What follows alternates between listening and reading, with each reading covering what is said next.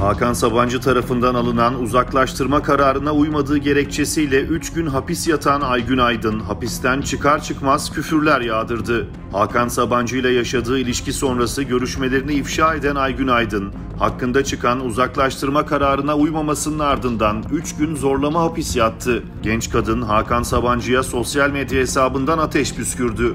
Aygün Aydın, duygularımla oynayıp beni hamile bırakırken her şey iyi hoştu. Herkes öğrenince mi rahatsız oldun? Diğer pısırık kızlar gibi ortadan kaybolmayıp tüm pisliklerini cümle aleme bildirince mi hapse uygun gördün diyerek küfürler yağdırdı. Hakan Sabancı ile yaptığı konuşmaları ifşa ettikten sonra bir anda magazin basınının gündemine oturan Aygün Aydın, daha sonra Instagram hesabından bir ultrason görüntüsü paylaşarak 3 aylıkmış sanırım şok geçiriyorum notunu düşmüştü. Aydın'ın Hakan Sabancı hakkındaki açıklamalara devam etmesinin ardından mahkemeye başvuran Hakan Sabancı genç kadın hakkında uzaklaştırma kararı aldırdı. Bu karara uymayan ve açıklamalara devam eden Aydın bu sefer 3 gün boyunca zorlama hapis cezasına çarptırıldı.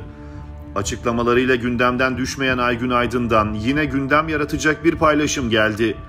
Aydın sosyal medya hesabından Hakan Sabancı'ya yüklenerek sen beni nasıl o katillerin böceklerin içine atıp öldürmeye çalıştıysan andım olsun seni yerle bir etmeden bu dünyadan göçüp gitmeyeceğim ifadelerini kullandı.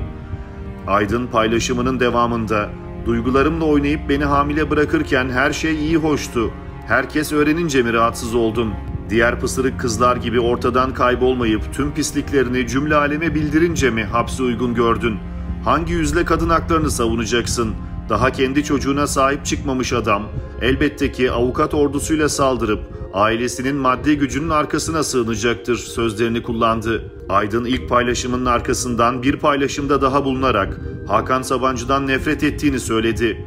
Aydın, ben ne kadar salak bir insan olduğumu bir kez daha anladım. Haberi olsa asla böyle bir şeye müsaade etmezdi. Kesin ailesinden biri yaptırıyor diye düşündüm. Sana toz kondurmadım.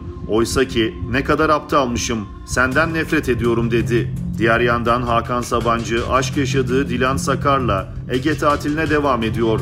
İkilinin Ege tatilinde arkadaşlarıyla verdiği poz basına yansımıştı.